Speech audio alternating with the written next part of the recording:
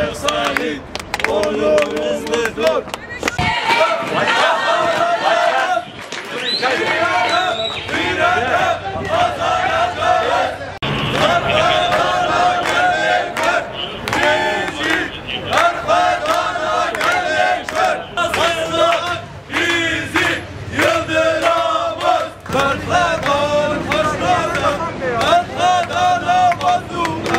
Şeyh Said ve mücadele arkadaşlarının İstiklal Mahkemesi tarafından 29 Haziran 1925'te Diyarbakır Dağ Kapı Meydanı'nda idam edilmelerinin üzerinden 99 yıl geçti. Katledilişlerinin yıl dönümünde Şeyh Said ve yoldaşlarını saygıyla, minnetle anıyoruz.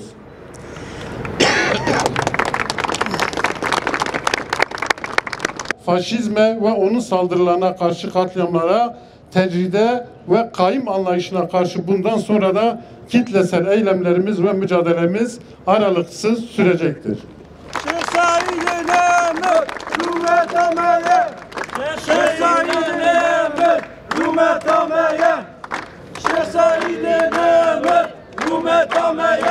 Eğer ber sistema faşist ku serê xwe Dagistana belki idama nebiya. Berxudana Şeyh Said berxudana me berxudana xwe berxudana gelê Kurde berxudana xwe heqîqate berxudana xwe ber İslamiyetê ya. 46 arkadaşıyla birlikte 99 yıl önce Ahmet'te Darkap'ta idam edilen Şeyh Said ve arkadaşlarını rahmet, saygı ve minnetle anıyoruz. Şeyh Said küfre karşı kıyam eden bir dava insanı, Kürt bir alim şahsiyettir. Davası onurlu bir yaşamdır. Davası İslam'dır. Davası Kürt halkının mücadelesidir. Yolu yolumuzdur. Davası davamızdır. Söz veriyoruz. Zulme karşı boyun eğmeyeceğiz.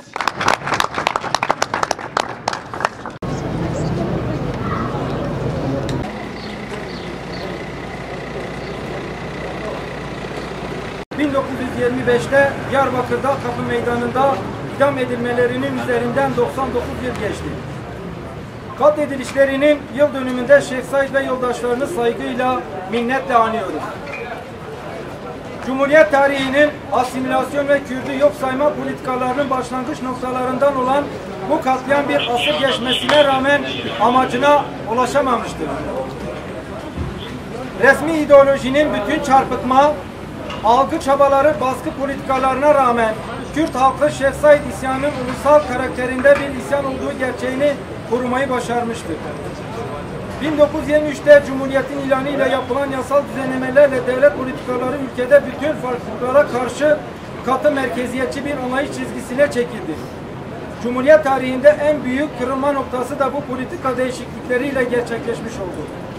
Bu toprakların çok kültürlü, çok renkli mirasının reddi temelinde ortaya konan politikalar etnik kimliğe dayalı bir ulus tahayyülünün merkeze alınması çerçevesinde yeniden üretildi. 1925 direnişinin üzerinden 99 yıl geçmesine rağmen olayın tarihsel ve toplumsal gerçekliği tüm yönleriyle açık, açıklığa kavuşmuş değil. Şeyh Said ve arkadaşların hakkındaki idam kararları usulüne yapılan bir yargılama sonucunda verilmediği gibi cezaları da ailelerine teslim et, cenazeleri de ailelerine teslim edilmeyerek hem haklı direnişleri ve hem de adlarının yaşatılmasının önüne geçilmek istendi. 29 Haziran 1925'te Diyarbakır'da kapı meydanında idam edilmelerin üzerinden 99 yıl geçti.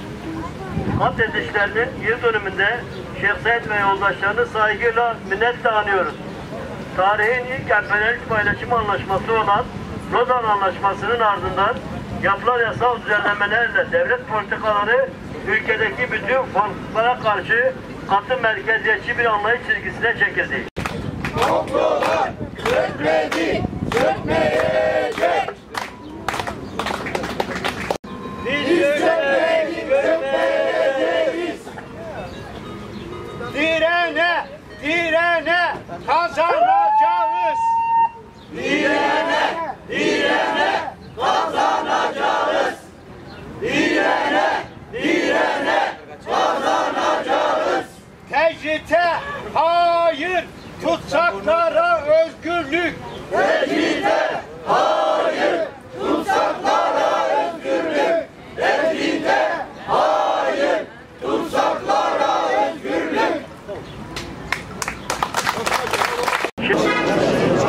isyanıyla beraber devreye konan İstiklal Mahkemesi ve Şark İslahat Planı gibi uygulamalarla Türkiye halkları arasındaki bağ da devlet eliyle koparılmış tekçi bir anlayışı hakim kılma çabaları en sert, sert şekilde yürürlüğe girmiştir.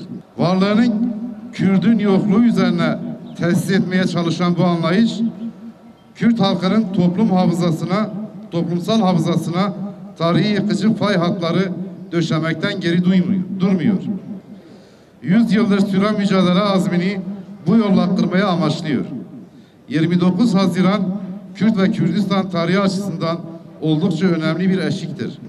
1925'te Şeyh Said'in idamı, idam edilmesinden 74 yıl sonra 1999'da Sayın Abdullah Öcalan'a idam ceza, cezası verildi. Bu tarihte bu tarih elbette bir tesadüf değil. Aksine Kürt halkının özgürlük anlayışına, arayışına açık bir mesajdır. Bu anlamda bu tarihin önemini ve etkisini hala en sert, sert biçimde ağırlaştırılmış tecritle cezaevlerindeki işkence sistemiyle Kürt halkına dönük inkar ve imha temelindeki politikalarla politikalarla yaşıyoruz.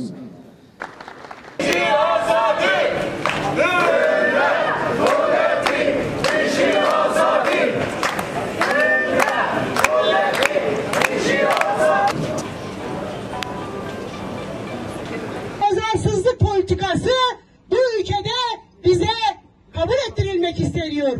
Mezarsızlık politikası demek, dilini inkar et demek, kültürünü inkar et demek, atalarının, dedelerinin mezarlarını tanıma demek, sana mezarını vermiyorum diyerek senin hafızanı siliyorum demektir. Bunlar insanlık suçudur. İnsanlık suçu işlenmektedir ve biz tüm bu insanlık suçlarına karşı da her yerde insanlık mücadelemize devam edeceğiz. Ve bir kere daha şunu söylüyoruz. 1925'ten 99'a ve bundan sonrasına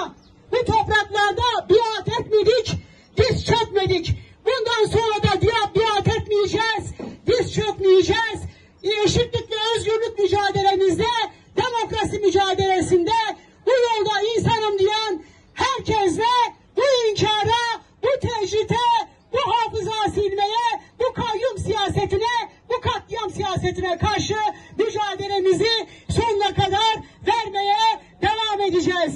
Bununla birlikte Şeyh Said'in resimlerine tahammül edemeyen pamuk güvenlik güçleri kapıyı kırarak içeri girerek Şeyh Said'in duvarından resmini çıkarması işte o 1925 zihniyetinin tam da kendisidir. Bunu şiddetle kınıyorum kendilerini. Şeyh Said'in bu topraklarda bütün akrabaları hala yaşıyor.